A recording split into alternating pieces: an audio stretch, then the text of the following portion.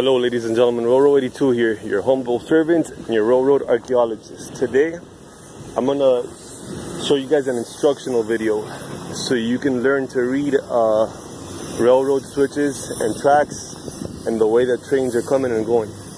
Okay, so uh, just so you have an idea where I'm at today, I'm at Northwest 71st Street.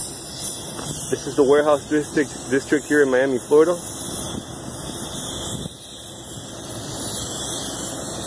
That's uh, Northwest 71st Street Railroad Crossing, and this is uh, Northwest 36th Court right here.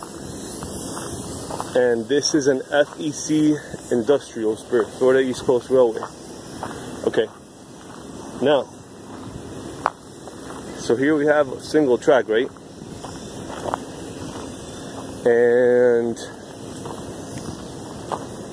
suppose we were coming straight on this track over here, how would you know right now, being a conductor or an engineer, if the train was gonna go straight or if it was gonna go to the right? Okay, I want you guys to write down below or comment what your initial thought was. I'll tell you the answer right now. Okay, so the answer is you always follow the gap. In other words, right here, there's a gap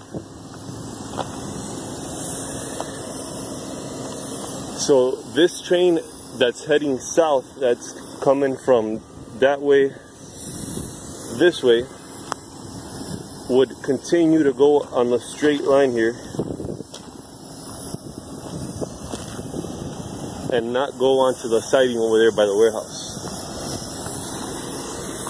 That is a hundred percent proof, never fail rule of thumb. Always follow the gap. Another way you could tell uh, is when they call those. Uh, uh, believe been a been a couple years since I worked at the railroad, but the targets. So you know how they have right there; those are white. Usually, any color except red means you're gonna go straight. So the targets are lined to go straight. Maybe yellow or green could also uh, signify that you're going to keep going straight. So you see how there's red on this side, right? If if this switch, they get the handle, they move it up. Well, I hope they unlock it. Well, no, this one's not locked. Usually the ones on the main line are always locked, but these spur ones are not.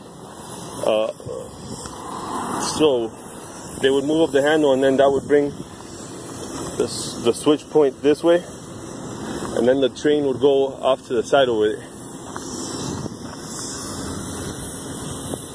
Very simple. Then you also want to, oh, before the conductor does that, he wants to make sure that there's no obstruction between the rails and the switches because that could break the switch. And then just as important, if the train was headed this way, he wants to make sure, the conductor wants to make sure that as he's going this way, uh, he wants to get a bird's eye view and make sure that this, if somebody came in after him, that that switch was not uh, aligned for the other track in his absence. So if that train were to be coming this way, and that would be, that rail over there would be this way, he would run the switch and then he would break this and this switch would be out of commission until the maintenance crew gets out here. So yeah, and then here we have another switch. Let me see if you guys uh, learned the lesson. So for the second switch, which way would he be going? He'd be going straight because there's the gap right there. You always follow the gap. Always follow the gap. This particular switch is no longer in use though. Uh, actually, maybe it is. Well, the target's missing. I don't know if uh, maybe it is. Yeah, because that seems to be really well maintained over there. So I would I would assume it is.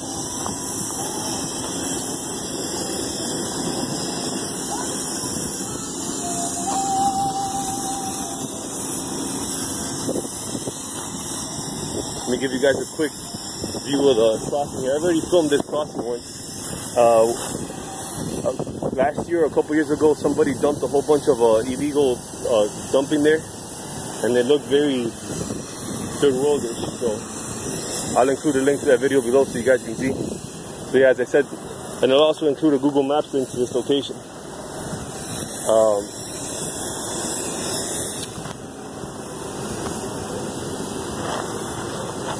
so it's probably safe to say that that rail, this rail here, is not used because there's concrete ties right over there obstructing it. So that could be a cause for a derailment. Alrighty guys, thank you for uh, watching this video. Please subscribe or like. Thank you very much for viewing. Take care. Bye-bye.